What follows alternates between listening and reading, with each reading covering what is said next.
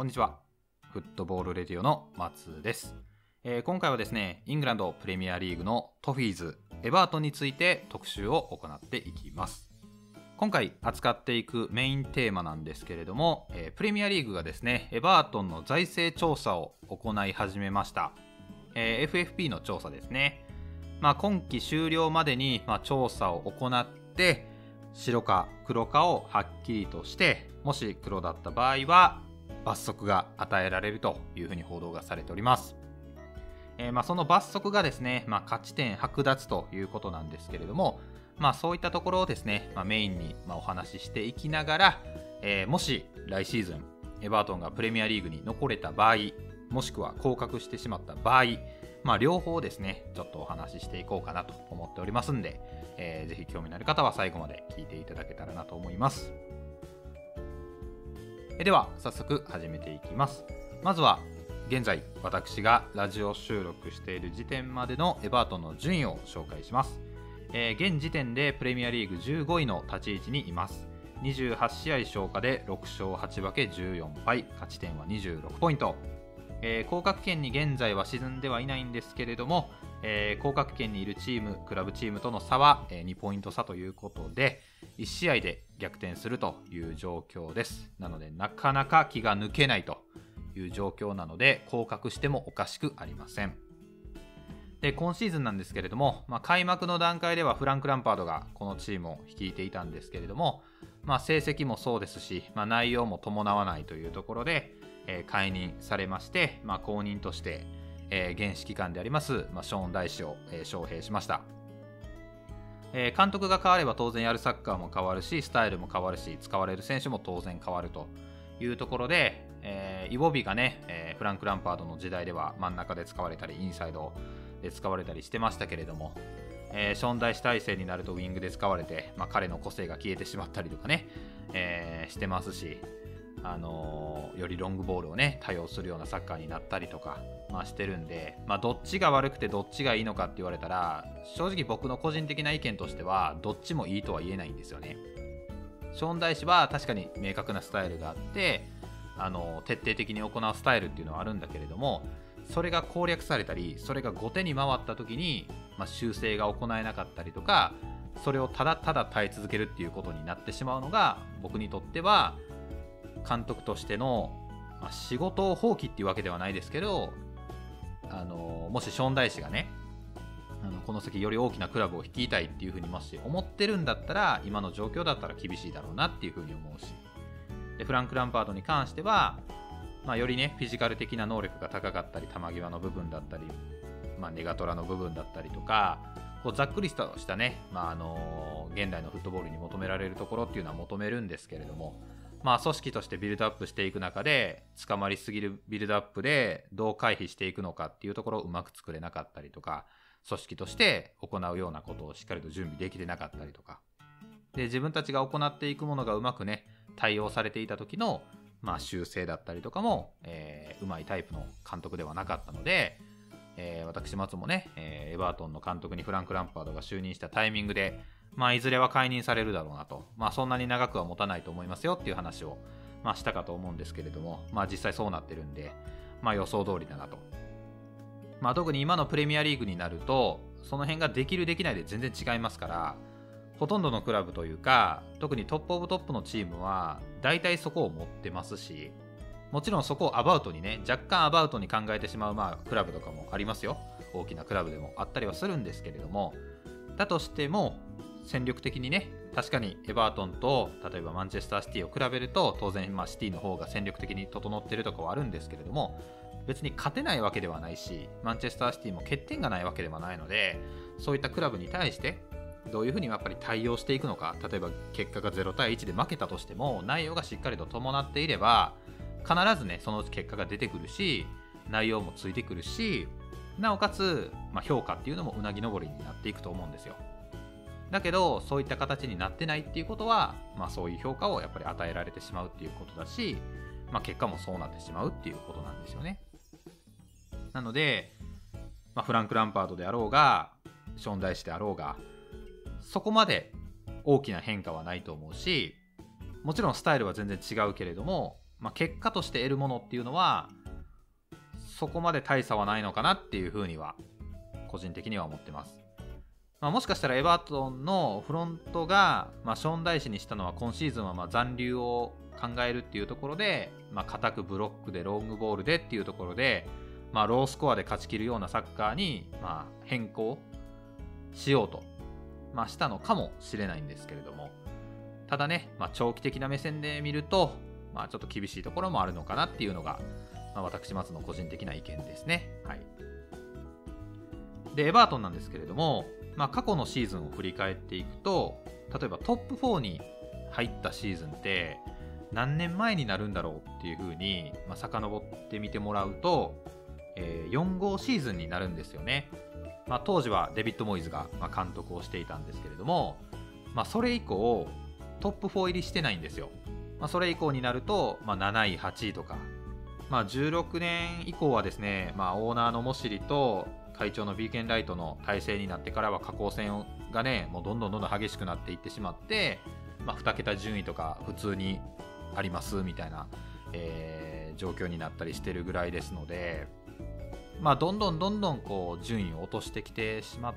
ているのが、まあ、今のエバートンの状況だと。なのでエバートンの目標はどこなのかっていうところがまず定めなければならないポイントだと思うんですよ。例えばもう今シーズンに関してはまあ例えば残留でいいですよと。じゃあ来シーズン以降目標どこなんだというところで例えばトップ4入りを目指しましょうと。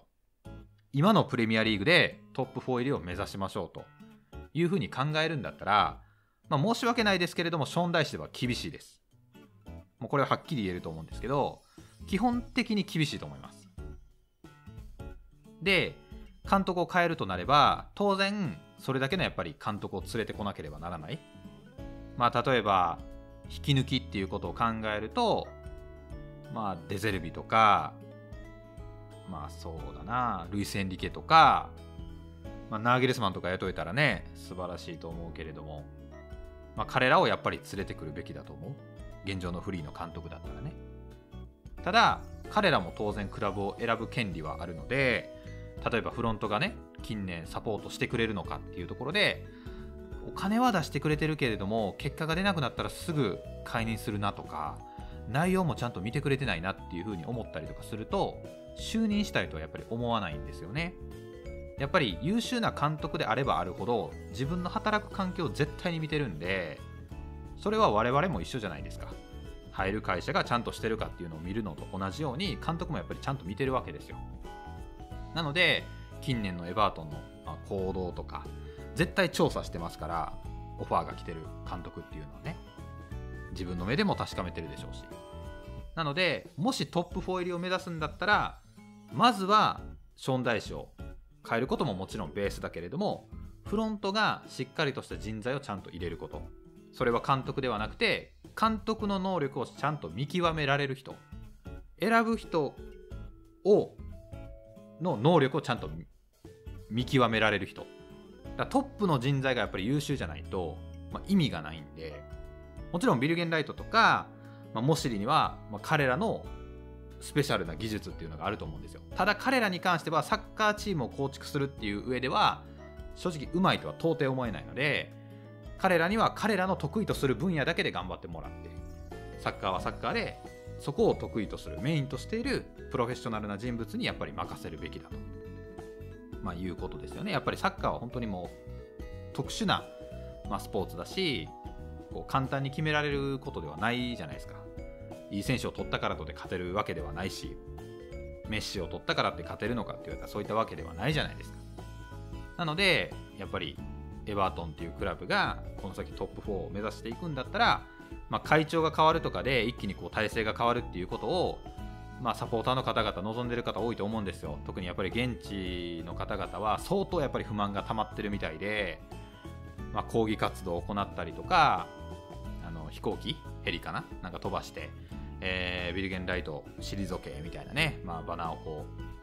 うやったりとかしてるみたいなので、まあ、相当溜まってるんですよねもう、まあ、限界値が来てると、まあ、当然だと思います。あのお金は出してくれてることは嬉しいと思うんだけれどもやっぱり名門がこういった順位に常に居続けるっていうことはやっぱりサポーターからすると当然許せないし特に近年やっぱり上がってきたチームが自分たちよりも上の順位に普通にいるっていうこの現状もやっぱり許せないと思うんですよね。まあ、当然だと思います。私もマンチェスター・ユナイテッド応援してますけれども組織として全然正直ねあのエバートンと同様にあのうまくないんですよ正直ね。今どんどん良くなってきてますけどここ近年なんかもう本当ねもう大丈夫っていうぐらいもう大丈夫っていう心配どころじゃないですけどもう危なかったんですよね。でも結局気づかずにそのままなんとか選手の質だけでごまかしてとかいうところでやってきてたわけですよ。でああいった形でユナイテッドでも7位に沈むことがあったりとかトップ4にも入れないとか、まあ、そういうことがあると。当然エバートもそういう結果になるのはま当然なんですよね。なのでいろいろしっかりと構築していくのはこだわらないと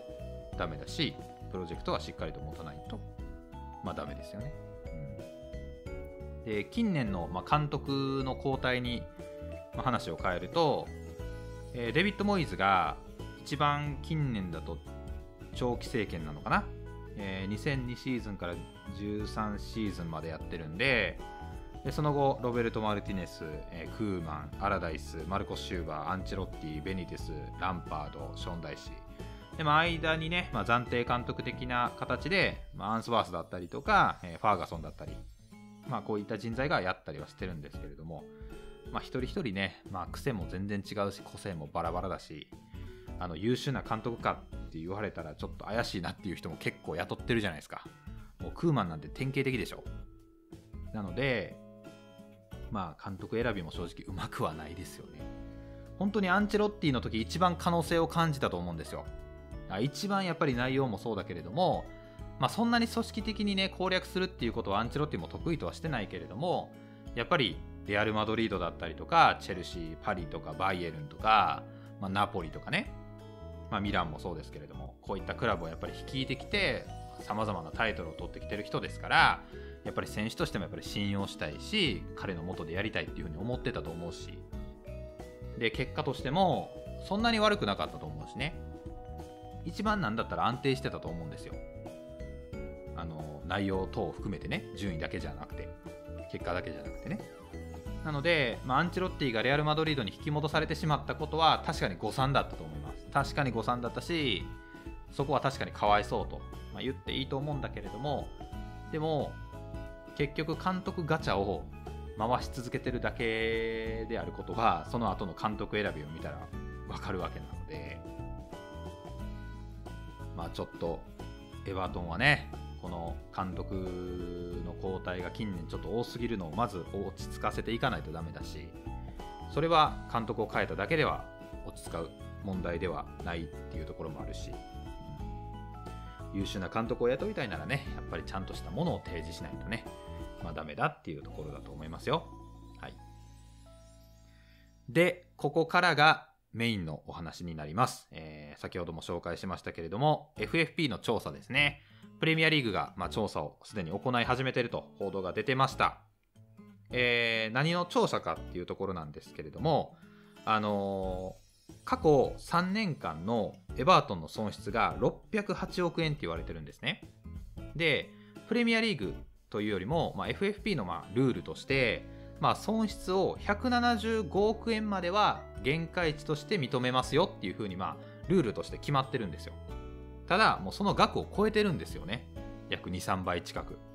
これが問題なんですね確かにサッカーチームって構築するのもそうだし選手を補強するのもそうだけれどもお金をたくさん使うので例えば選手を取ったとしても失敗する年もやっぱりあると思うんですよ。これだけたくさんのクラブがあれば。